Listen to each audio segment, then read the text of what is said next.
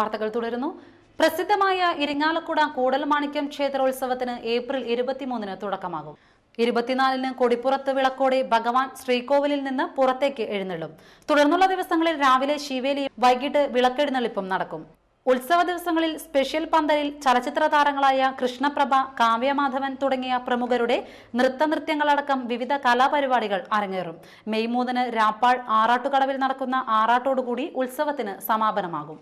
കയ്പമംഗലം ഗ്രാമപഞ്ചായത്ത് മൂന്നാം വാർഡ് ദേശീയ ഗ്രാമീണ തൊഴിലുറപ്പ് പദ്ധതി അംഗങ്ങൾ വാർഷികം ആഘോഷിച്ചു.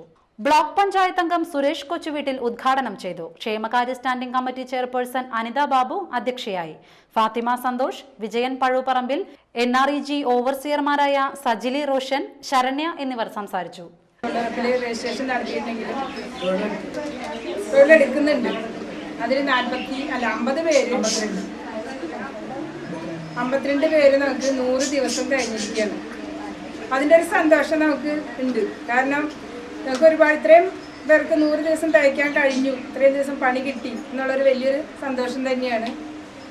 ഇത് ഒരു തൊഴിലില്ലാതെ കുടുംബത്തിൽ ഇരുന്നിരുന്ന വീടുകളിൽ ഇരുന്നിരുന്ന സ്ത്രീകളാണ് ഇന്നിപ്പോൾ നൂറ് ദിവസം പണിയെടുത്ത് ഒരു ദിവസം നമുക്കിപ്പോൾ ഒന്ന് നൂറ്റി? നൂറ്റി അറുപത്തിനാല് രൂപ നമുക്ക് ഈ ഏപ്രിൽ തുടങ്ങി പൈസ കൂട്ടിയിട്ടുണ്ട്. അത് അതുപോലെ ഇനി ഘട്ടം ഘട്ടമായിട്ട് നമുക്ക് കൂട്ടി കിട്ടും എന്നുള്ളൊരു പ്രതീക്ഷയിലാണ് എല്ലാവരും നിൽക്കുന്നത്.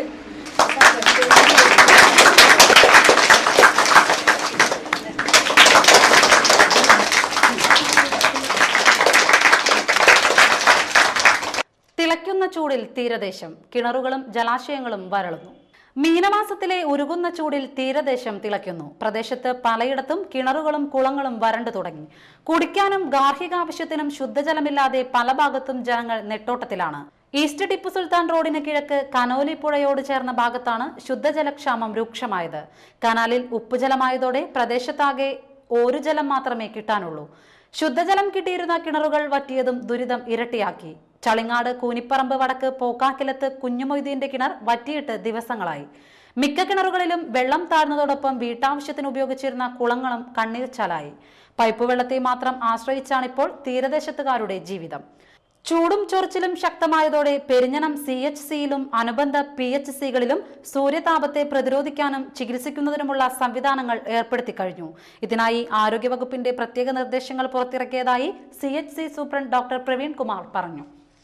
നാട്ടിക ഗ്രാമപഞ്ചായത്തിൽ ജനകീയാസൂത്രണ പദ്ധതി പ്രകാരം കുടുംബശ്രീ ബാലസഭാ അംഗങ്ങൾക്ക് പുസ്തക വിതരണം നടത്തി.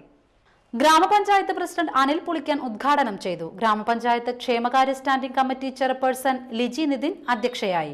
എഴുപത്തിനാല് കുട്ടികൾക്കായി മുന്നൂറ്റി അൻപത് പുസ്തകങ്ങളാണ് വിതരണം ചെയ്തത്. ബ്ലോക്ക് പഞ്ചായത്ത് അംഗം K V Sukumaran I C D S supervisor C G Santhakumari വാർഡംഗങ്ങളായ T K Prasad Anitha Jyothi Sumathi Aravindakshan Thankamani Thrivikraman Sreedevi Madhavan എന്നിവർ സംസാരിച്ചു.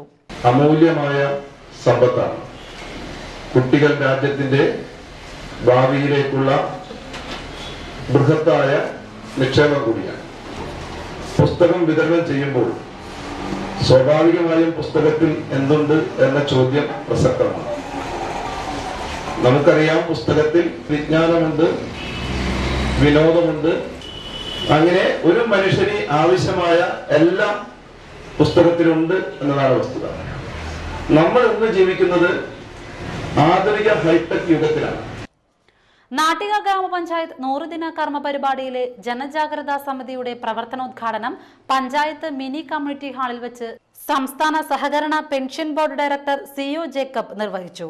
ഗ്രാമപഞ്ചായത്ത് പ്രസിഡന്റ് അനിൽ പുളിക്കൻ അധ്യക്ഷനായി. Vice president Sreedevi Shanmukhan V R Vijayan M V Vimalkumar Liji Nithin C Sankaranarayanan P S P Nazeer P M Siddique V D Sandeep എന്നിവർ സംസാരിച്ചു. കയ്പമംഗലം മൂന്ന് പീടികയിലെ retired captain തറയിൽ ചന്ദ്രന്റെ ഭാര്യ ഹൈമാവതി നിര്യാതയായി. അറുപത്തിയൊൻപത് വയസ്സായിരുന്നു. ജിതേന്ദ്രൻ ഹേമചന്ദ്രൻ രാജേന്ദ്രൻ എന്നിവർ മക്കളും ദീപ സ്മിത സിനി എന്നിവർ മരുമക്കളുമാണ്. പ്രധാന വാർത്തകൾ വീണ്ടും. ചരിത്രപ്രസിദ്ധമായ കൊടുങ്ങല്ലൂർ അശ്വതി കാവുതീണ്ടലിന് ആയിരങ്ങൾ കുരുമ്പക്കാവിലെത്തി. മതിലകത്ത് ഓട്ടോറിക്ഷ കത്തിനശിച്ചു പ്രസിദ്ധമായ ഇരിങ്ങാലക്കുട കൂടൽമാണിക്യം ക്ഷേത്രോത്സവത്തിന് ഏപ്രിൽ ഇരുപത്തിമൂന്നിന് തുടക്കമാകും. വാർത്തകൾ കഴിഞ്ഞു. നമസ്കാരം.